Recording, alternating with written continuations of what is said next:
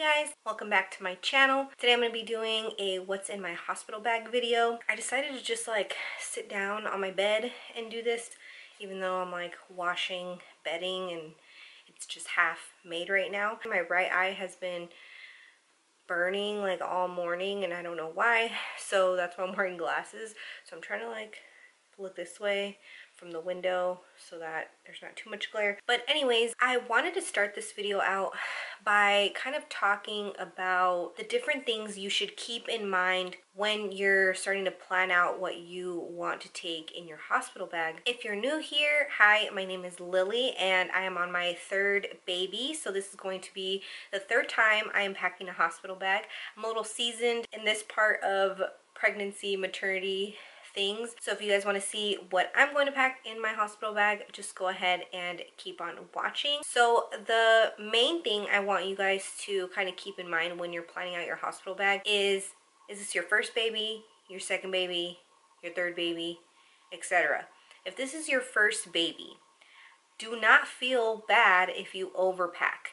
You don't know if you're to have a C-section. You don't know how many days you're to be in the hospital.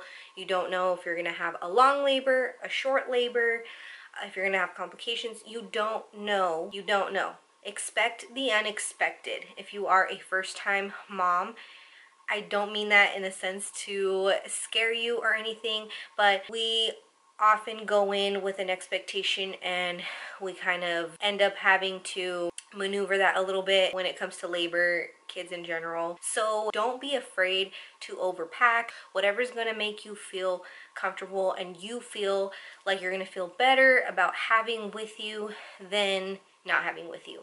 Also how far away do you live from the hospital? So for example i live about half an hour away from my hospital. So if it's right down the street or super close to you you don't have to worry about really oh, if I forget something or if I feel like I'm not going to pack this because I might not need it and if you end up needing it, someone can easily get it for you. That's also a factor. If you're going to be getting a C-section, you're going to be spending more time at the hospital depending if you're a first time C-section, second time kind of thing. I've never had a C-section so I don't know specifically, but I do know you stay in the hospital longer even if you have a vaginal delivery and it's your first time having a baby typically you will spend an extra night in the hospital or they will give you the option to stay an extra night even though you don't need it. You don't need it physically like for your health. It's just for the extra kind of help while you're transitioning into motherhood kind of thing. So that's what it was for me anyway and they did ask me if I wanted to stay an extra night and I didn't personally stay an extra night. I was perfectly comfortable going home after just one night at the hospital so with my first daughter. I got there like at midnight, had her at 3 p.m., spent that night there, and then I went home the next afternoon. So we were technically there like a day and a half-ish, like almost two days, but just like one night we spent there. So I could have stayed that extra night. They gave me that option, but I didn't. Just keep in mind you will more likely need a little bit more stuff when you pack. Also, if you're being induced, that is also something that you want to expect to be there a little bit longer, depending on the person. It just really depends on the person. If you're a second time or third time mom, typically, I'm not to say everyone, but typically, this is just what my doctor told me. Typically, the labor that you had with your first child, your second child, it's going to be very similar. So if you had vaginal births the first time, you will most likely have a vaginal birth the second time. If you had to be induced the first time, you probably will need to be induced the second time. But a lot of the time, it's a good predictor, your previous labor and deliveries, to how your future ones will go. As far as inductions, C-sections, vaginal births go, not like, oh, you're to spend the exact same amount of hours having every kid. With that being said, everyone's personal preferences are also going to be different. So if you want to bring your own pillow, if you just hate the pillows at the hospital, if you hate the blankets there, if you, all those things you can bring if you want. You don't have to bring them. You will be provided a lot of stuff at the hospital, but it is your personal preference of what you want to use. So if you want to take things for the typical two days, one night that you'd be at the hospital. If you just have a run-of-the-mill vaginal birth, then that's up to you. If you know that you're the kind of person that you are going to get induced and it's going to be a couple of nights at least or more, or if you're going to have a C-section, you want to be as comfortable as possible. Bring your own pillows, bring your own blankets, anything, like I said, to make you feel comfortable. So for me, I'm on my third kid, like I said. So the first two, both vaginal births, one night in the hospital, in and out, came home. So I do not need to pack too much because more than likely this is the same kind of routine that we're going to have for this baby depending on what time I go into labor. Both times I went into labor at night so can most likely be the same this time around. That's what I'm keeping in mind while I made my list for my hospital bag. So that's another thing that I suggest is making a list. So what I did is I made my list and then I just kept my bag out that I was going to use. And as I started accumulating things on my list, I started just throwing it in there. I wasn't really packing it up. If you guys saw one of my clean with me videos recently, I mentioned that and I threw some stuff in there. I also on my Target haul, I picked up some stuff for my hospital bag. So check those videos out if you haven't already. The only thing that I have not packed is like my toiletries bag. I'm not gonna go and buy a bunch of travel sized things to to take. I don't think it's necessary so my plan is to just have my note card here like on the nightstand or on my makeup desk or whatever whenever I feel like it's time I'm going to just go through my list or tell Ramses and just be like here can you just throw this in a bag put it in my hospital bag kind of thing and I specifically wrote each thing. So I wrote like makeup bags so that I would just pack myself my typical stuff that I would have. Again I'm not gonna go out and buy a bunch of like small sized things or doubles of my stuff just to have in a bag for the next three four weeks kind of thing. So that I would just pack on my own. The only toiletries I'm gonna take is a toothbrush toothpaste and a hairbrush. Scrunchies. I did actually throw scrunchies in here though. micellar water washcloth deodorant, face wash, and moisturizer. That's it. I'm not taking shampoo. I'm not taking conditioner. Did I say body wash? I didn't say body wash, but the little body wash that I have, that will also be coming just in case. So I don't remember taking like a full-on shower when I was there. I just remember like rinsing off. I didn't like get in there and get all soaped up and shampoo and conditioner my hair or anything like that. Uh, I just don't feel like super comfortable doing that at the hospital. So I'm just going to take a body wash just to kind of rinse off and clean all the parts I need to, but I'm not to take like a loofah and shampoo and conditioner and all that stuff. Like, I'm not to be there that long, so I'd rather just save the hassle of having to pack all that stuff and just take a shower when I get home. And then also things that we're going to have kind of ready, but obviously I'm not to throw it in here, is my camera and my other camera like for pictures and brand new SD cards. So those are going to be like on standby in our little camera. We have a camera bag so that'll be ready to go too and also I wrote it down just so that we could remember that we need that and it's not in the bag and our phone chargers and then I also put my contacts case and some contact solution because I do wear contacts and most likely I'll probably put my glasses on before we go to the hospital because I don't want to deal with having contacts in when I'm in labor. So those are the things that are written on my list and are kind of grab and go things when we're gonna actually go to the hospital. So those are not physically in my bag. Also, I am gonna take a boppy pillow, but I just haven't gotten it in yet. So that's also something that I don't have, but I'm gonna be taking. If you haven't watched my breastfeeding video, I mentioned that particular product and why I love it in that video. So check that one out as well. Okay, so into the actual bag. So, so the bag I'm going to be using is this, um, it's like a little carry-on, like duffel-ish bag. It's uh, by Lululemon. I'll try to see if I can find the name of this bag if it actually has a name. I didn't buy it. Ramses bought it for me last year for our anniversary, so I don't I don't know anything about it, but I love it. I use it all the time when we travel, when we go places. Let me take everything out because I'm a little confused right now. Hold on. Okay, so for the baby, yes, we are cloth diapering, but I'm not going to bring any cloth diapers to the hospital. Just because, like I said, we're going to be there for a day, two days-ish, and I just think it's a little unnecessary for me to bring some diapers and then have to like bring them home and wash them already kind of thing. So I'm just going to use the, usually they use Pampers at the hospital. So I'm just going to use the newborn Pampers that they have while we're there. And then when we come home, we'll start with the whole cloth diapering thing. So I'm going to start off with the baby stuff. I'm not taking too much for her, but I am going to take a outfit to change her into after they bathe her. So typically what happens when the baby is born, they don't bathe the baby right away. They clean her off, obviously, and everything. You guys do skin to skin. If you're gonna breastfeed, you attempt to breastfeed right away. You just kind of have some bonding time. And then after all the commotion is done with and you're all taken care of because another thing too is you can tear and stuff like that so you might need to get stitches and all that stuff. So all that stuff has to happen before they come in and like bathe the baby.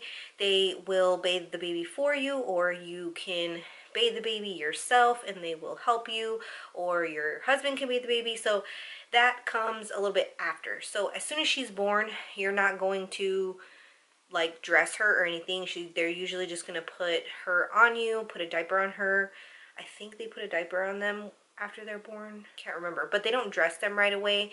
And then when they take them their bath, then you can change them. They will usually put like the hospital shirt and the hospital little hat on them after they bathe them. That's what I did with both of my kids. I just let the nurse and Ramses Ramses took the girls their first little baths at, in the hospital. So they'll probably just wear, she'll probably just wear like the little shirt. It's not a onesie, it's just like a little shirt and they put the diaper and they swaddle them and put the little beanie on them. So preference, personal preference, if you want them to specifically put on a certain outfit, you can just let them know. But for me personally, I'm just to let them do that. That way I can just keep the little hospital shirt and hat like I did with the girls. And yeah, so that's what they're to first like change them into. And then after that, after depending on what time it is, if it's late, how long the labor was, if we're tired, we're to eat whatever. Then a little bit later, once we're ready, and then the baby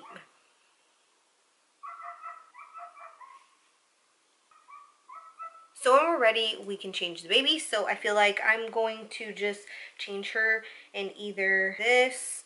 I'm taking two options just because again, time of day, the weather, etc. So I might do this. I might put her in this little long sleeve onesie. I highly, highly recommend getting shirts that tuck in and make a little mitten. The baby mittens fall off without fail. So these are super convenient, the ones that already have them little like built in. And it comes with these little pants and the matching little beanie. So that is one outfit. If it's a little colder, I might just put this on her and then this on top depending on how cold it is. So I'm going to take like a full like little sleeper. So that's just like for backup kind of thing. Also baby's poop sometimes it can get on their stuff so having a backup is always nice for the babies. Just just one backup you should be fine. And then also I got her these. These are main this is mainly for a picture. So we want to take a picture all of us in the hospital me with all three of the girls. So I also got a matching robe and the girls got matching pajamas. So this is the babies. So this is just like a little knot gown so I will put this on her to take pictures of her and stuff, but I'll probably not leave her in this. And then this is little headband, matching headband that goes with it. So that's all the clothes I'm taking for the baby. I'm not taking any burp rags. I'm not taking bottles. I'm not taking my pump. I'm not taking any, any breast pads. None of that. They all have that at the hospital. No diapers, nothing. Yeah, that's literally all I'm taking for the baby. Let me check my list to make sure. Oh, I did forget to show you guys this. I also picked up this beautiful swaddle blanket. I got it on Etsy. I will link everything below. I got this at Target. If you guys saw my Target haul, it was in there. The gown and stuff, I will uh, link that below. This was for from a baby shower gift, so I don't know where that's from. But this was from Etsy. I ordered this from Etsy. I'll link the shop below. It is so cute. I was torn between getting her one like something like this or getting her one with her name on it. I ended up going with this and I love it. It's so soft and just lightweight, but it's just beautiful. I love it. And it comes with a little turban, like not turban. How cute. This is what she'll be like bundled in no matter what she's wearing. So yeah, that's it. So that's what I wrote. Two baby outfits, a beanie, and I technically have two because I have this one that matches the swaddle. And then one swaddle blanket. You can take a warm blanket if you live, oh, my freaking bra keeps showing. You can take a warm, like fluffy blanket if you feel like you need to. But I live in Arizona, so this should be plenty. The long sleeves, everything. Okay, and as far as me goes, I am packing the girls' pajamas. So again, depending on what time we um, deliver and all that stuff and come home, we might not even change the baby into that gown and the girls into this because and we might just do pictures here at home with the with these just because it might just not be convenient for the girls to go down there and then have us take pictures at the hospital. We might just wait till we come home but i am going to pack them so this is the girls. It comes with pants and long sleeves. These are so soft. These are made from bamboo. There's exactly the same print and that's it. Most likely the girls will be with my mom or my sister or my in-laws. Again whenever this happens depends who's available but yeah so i'm just taking those for them just in case we do take the pictures at the hospital so for when i leave the hospital i picked up this nursing bra again this was in my target haul i got it in a size large but it's a nursing bra and then I got these also from Target. So I highly suggest getting dark pants. Uh, you obviously bleed for a few weeks after you give birth. And you also wear really thick pads or like the depends diaper things and it doesn't look very cute when you wear like leggings unless you wear leggings and then you wear like a long shirt where it kind of covers your butt vagina area. So, I mean, personally, I just think like I just feel a little uncomfortable wearing tight pants when I have all that going on down there. So, I got these loose joggers from Target. I got them in a large. I guess they're not joggers, but they like go skinnier down towards your legs so they're not super flared on the bottom. I'm short, so if I get things that are like really flared, I just drag them on the floor. So these are really nice. They kind of are supposed to, for regular size people, I think they're supposed to go to like mid-calf, but these go all the way down to my ankles, so they're like pants for me. So this is what I'm going to wear when I leave the hospital, and then I picked up this shirt. I decided to get a nursing tank. I don't have like any nursing shirts. I don't even have spaghetti straps like to do the t-shirt trick kind of thing. But I figured I would get a nice comfy actual nursing tank. I've never really gotten many of these but it's really cool. It's like, it's dark gray and it has black so it like kind of goes with the pants that I got but it has like this little slit right here on the side so you like open it like this and then you pull it up from here and then you can nurse the baby and you're still a little, a little modest up here, you know.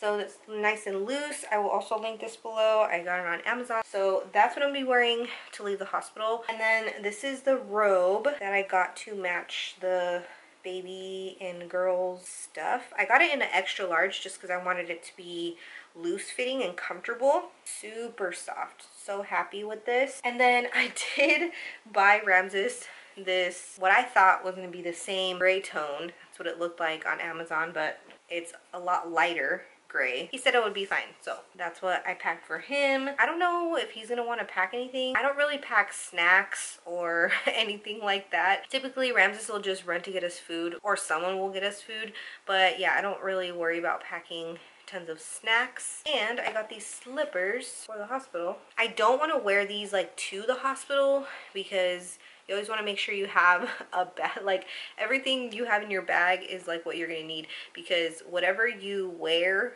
to the hospital you might get soiled somehow with either your water breaking something happening to the clothes you're wearing. So I wouldn't suggest saying like oh I'm gonna wear comfy clothes or I'm gonna wear my slippers. That way I don't have to pack them or already have them because I'm gonna wear them to the hospital. So just beware of that. Be careful of that. Um, try to just pack what you're gonna use in your bag. And then I already had these two scrunchies in here that I had thrown in. And then this is the little body wash that I had put in here. So this is not Odie Creamy Dream Shower Cream, which stinks by the way hated it but I literally like I got it in like a little gift set. I just reused the little container. So this is just uh, the castile soap that we use for body wash. And then I'm like running out of my deodorant that I have. So I just figured I would throw this in there and I got a new one. So that's why this is in there now but it's because it's good for another couple of uses, which is what I'll need while I'm in the hospital. And then I threw this in there. It's just uh, from some, one of the packs that we have in there that's just extra toothbrushes for travel or if someone comes over and needs a toothbrush. So I have this. So the only thing I'll need to pack is toothpaste, face wash, moisturizer, micellar water, and a washcloth. Oh, and my and a brush, a little brush. See, that's why I have this. Comes in handy. But yeah, I'm not taking any hair products. I'm not taking like dry shampoo. I'm not taking any hairspray. Um, nothing like that. I'm not taking my own pillow. I'm not taking my own blankets. It's just, that's just too much for, for me, for us to like have to deal with. I just want like one bag with all our necessities and that's it. I don't want to have to have Ramses carrying a bag, worrying about me carrying a pillow. Like it's just, it's just too much. So I'm very minimalistic at this point with my third child. I wish I would have been doing videos back when I was pregnant with my first baby so I could probably look back and laugh at myself because I overpacked I'm pretty sure. I remember I had a huge diaper bag for Jet. Like it was huge. It was like this big.